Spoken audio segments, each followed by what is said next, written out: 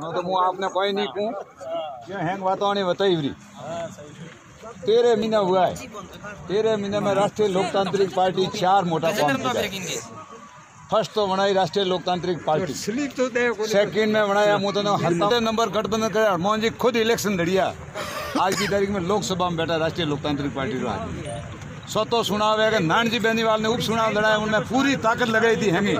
तो भी वो पैंतालीस और छियासी वोटों में जीतो बीजे नंबर में आपने एक ही को परसों होनाई राष्ट्रीय लोकतांत्रिक पार्टी। तो हैंगू, ज़्यादा धन्यवाद तो देना चाहूँ कि एसी रो मेघवाड़ा ग्रह उन्होंने प्रदेश अध्यक्ष बनाया दूसरे नंबर उदाराम जी ने प्रदेश राव उपाध्यक्ष बनाया उन्होंने अध्यक्ष बनाया उन्होंने उपाध्यक्ष बनाया और मुँह को थारा हम लड़िया सारवा वाला ने भी उपाध्यक्ष बनाया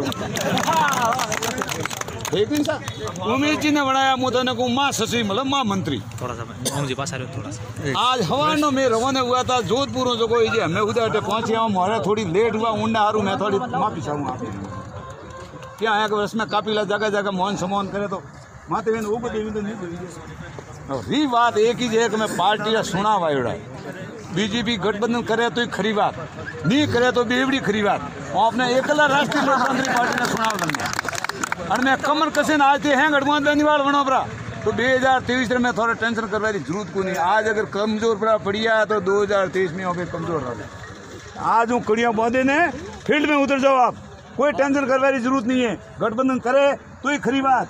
नहीं करे तो ही खरी बात। राष्ट्रीय लोकतांत्रिक पार्टी ने सुना और अपना प्रधान बना है अपना जिला परिषद सदस्य बनाना है और अपना प्रमुख बनना चाहिए बस उन्होंने कहा प्रशासन वाला का मैं हिम्मत मत चढ़ो। लेकिन सर हमें बीजेपी तो बोलो हारू और भी जो मौको मिली उन्होंने तो मुँह तो मैं घणो तो कोई नहीं क्यों क्या मुँह बगर मूरी रहूँ उठूँ जो बोल तो बोल तो कटी जो कटनी पड़ो जाऊँ ठीक है सर? आज मतलब मैं बीजेपी रो भगत तो। जनता बात बात हूँ टस पड़ी बीजेपी छोड़े ने हनुमान जी बेनी वालों समझो तो कीधो। रो मनक मोहरे वाला कहता है कि सतिया था तो के नातरो कीधो मैं उन्होंने एक ही किया तो मैं के नातरो करे नहीं करो नहीं हेटो फाड़ियो मोड़ो को नहीं आज की तारीख में देखो तो हेटो हतो जो तो मध्य प्रदेश तो उपाध्यक्ष मारो तो आप जोड़े ने एक ही निवेदन के આપણો हरमोहन बेंदी वाला हाथ मजबूत करना है आ वाला 2023 में ने मुख्यमंत्री बनावना है तो आज हूँ तेतोरे कड़ियों बहुत ने फील्ड में उतरो कमी पेशी अन सेल्फियों कोई नहीं वे, ठप्पा दे रहा होना है। अन मैं कमी पेशी में दिला तो सेल्फियों तो भले ले जो थी। मैं बजे तीन वराइटीज बैठा हूँ। ठीक सा राम राम।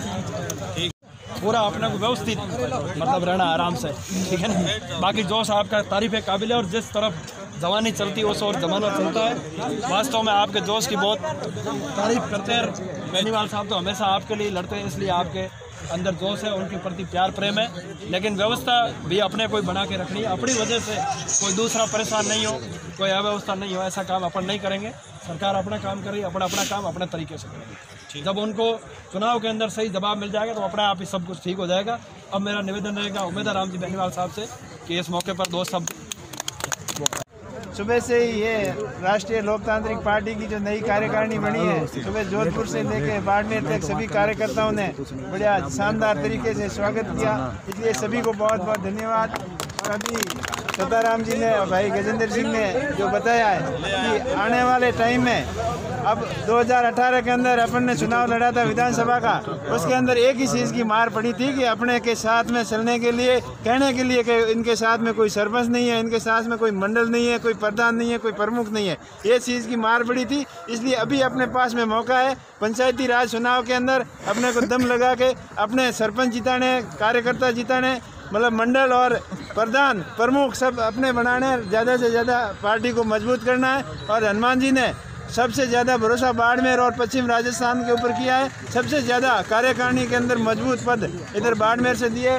सत्ताराम जी और उदयराम जी को पार्टी का उपाध्यक्ष बनाया है और पुखराज जी गर्ग साहब को अपना प्रदेश अध्यक्ष बनाया है और इस तरीके से सभी वर्गों को पार्टी के अंदर समान पद दिए हैं और सबको साथ में लेकर चलने की एक बढ़िया अच्छी कार्यकारिणी बनाई है। मेरे ख्याल से ऐसी कार्यकारिणी किसी भी पार्टी की नहीं है।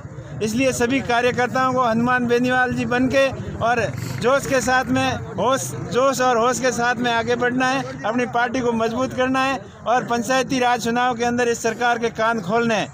जो एक साल के उपलक्ष्य में अपनी वखान, अपने कार्य को गुणगान करने जो दिखा रहे, ये खाली खोखला था।